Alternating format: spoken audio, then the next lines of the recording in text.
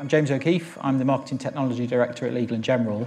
Um, Legal & General are a coffee shop startup from about 180 years ago where a group of lawyers got together and decided if they pooled risk, they'd be able to deliver better outcomes for the, the people that were unfortunate to lose um, a loved one. So it was that kind of, uh, you know, the, the greater good, the, the purposeful business that was formed 180 years ago has gone through a number of transformations.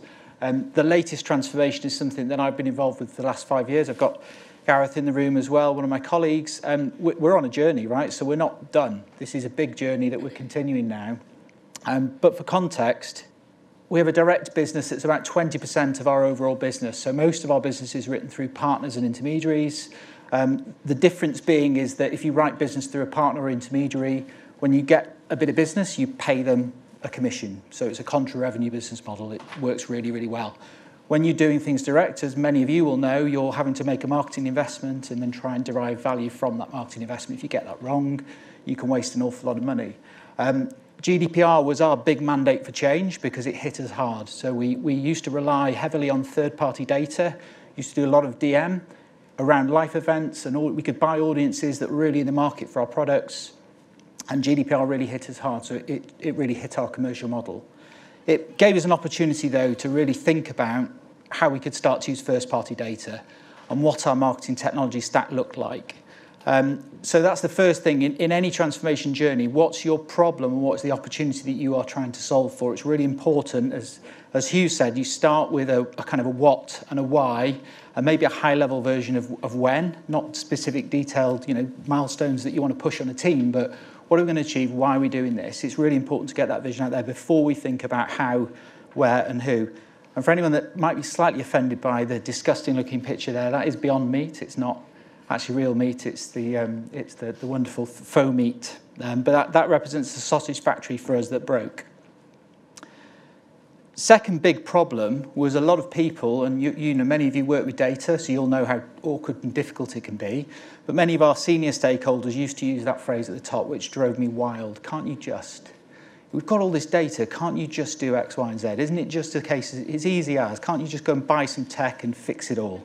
Um, and, and that's the furthest thing from the truth. So for us, we spent most of our time not just thinking about the, the tech or the data, but about people and process. So it was really important for us that we lent into some of the policies, lent into our data protection people, lent into our conduct risk people, lent into legal people to say, actually, how do we understand the policies the business operates within. What are the permissions that we have?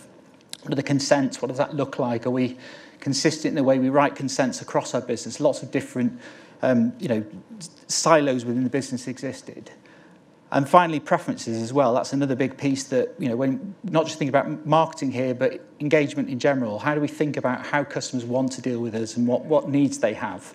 Um, so for us, thinking about governance was really important.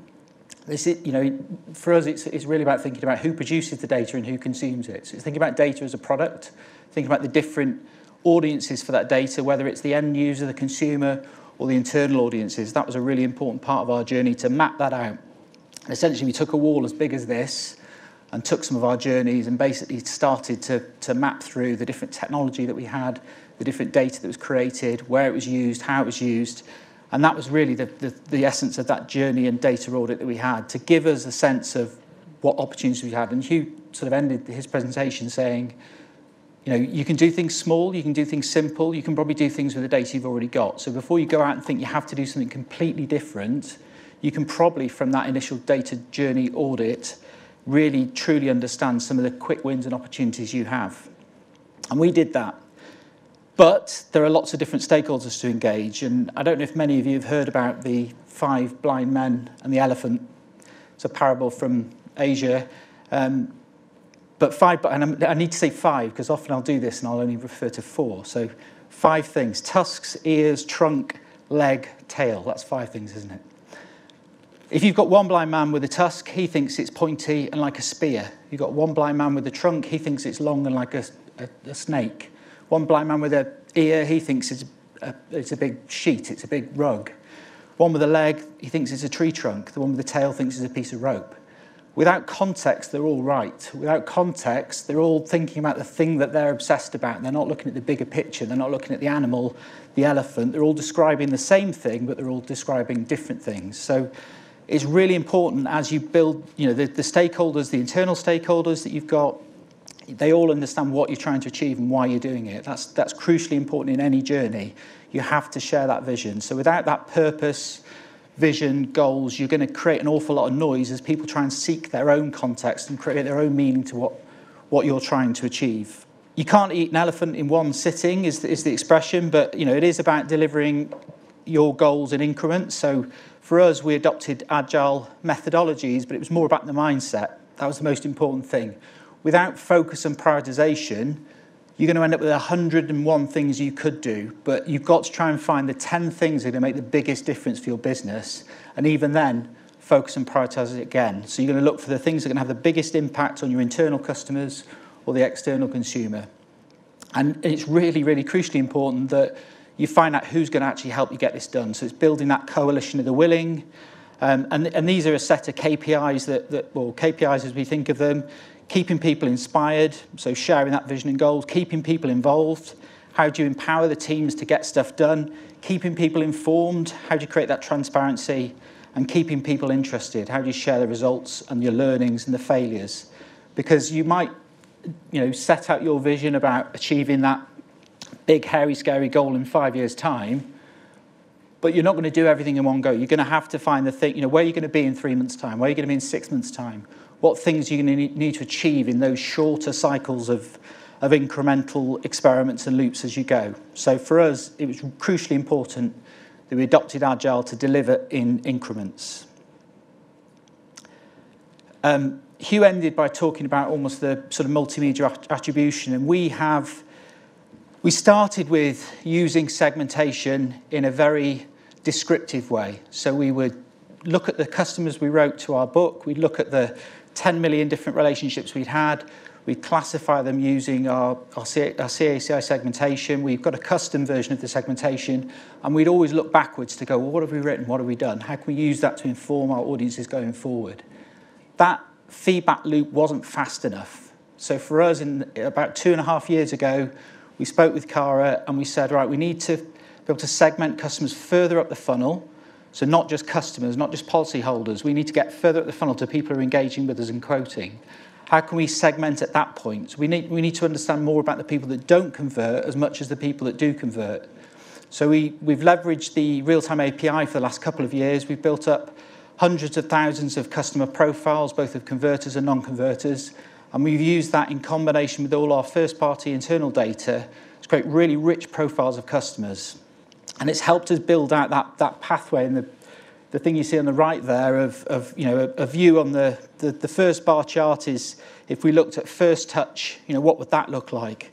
If we looked at last touch, you know, you're going to see the big orange bar there is the sort of low cost, no cost lead nurture type activities. And the, the, thing on the right shows the, the sort of Markov um, probabilistic view, the multimedia attribution that says what's the role of the different channels, online and offline together, and what does that do to our interpretation of, of which marketing channels are most effective. So that's been a big part of our journey to get to that point now where we have all of the data to make that kind of decision. It's not an easy journey to get to that point, but it is a journey that is worthwhile undertaking because it's, it's helped us to drive about 15% improvement in marketing effectiveness. So we've been able to recycle some of those budgets back into new marketing investment. We know where to spend the next best marketing pound. We know the potential value of prospects and we know where we can target those prospects best, uh, where we're going to get the strongest conversion rates. And most importantly, we're not just a multi-channel business anymore. We're now omni-channel because we can connect between the sort of online to offline and back again. And that's all using small MVPs as we've built, but small MVPs to build out that connection between all of our first party data to enrich it with valuable third party data because third party data although it's been under pressure there's still valuable you know tip to CACI here but there's still valuable enrichment we can do of our first party data that gives us even more um, you know intelligent ways of understanding who our segments are and how we can target and activate against them. So I think the final thing I'd, final point I'd sort of leave you on is if some of this stuff sounds exciting to you, There's plenty of people in the room that are doing it, done it, have got the ideas. So use your network, use CACI, use the expert. There's plenty of people out there that can help you find out what those first experiments would be um, for you to run in your business. So share the problem, share the opportunity, use your network. There's loads of people out there who are on the journey that, that we've been on and, and you'll be on yourselves.